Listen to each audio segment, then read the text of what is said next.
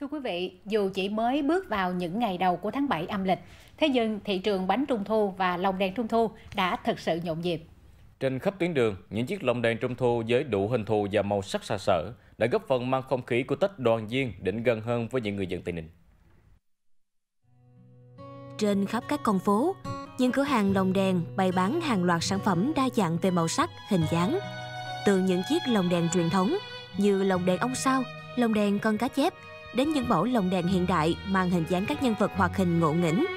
Tất cả đã tạo nên một sức hút mãnh liệt, không chỉ đối với các em thiếu nhi mà còn gợi lên những ký ức tuổi thơ trong lòng những người lớn.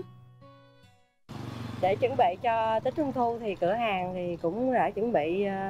À, những cái à, lồng đèn như lồng đèn truyền thống, đèn ngôi sao, đèn các con vật, lồng đèn pin, những loại lồng đèn hot trend trên TikTok giờ nữa.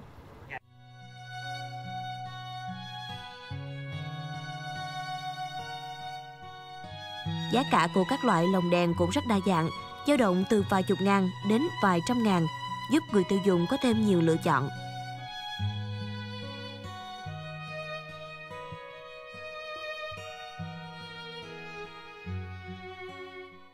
Em thích thì em thích sẽ lựa chọn lồng đèn ờ, ngày xưa tại vì nó sẽ gợi cho em về những cái mà cảm giác về tuổi thơ nó sẽ nó không quá màu mè như thời hiện nay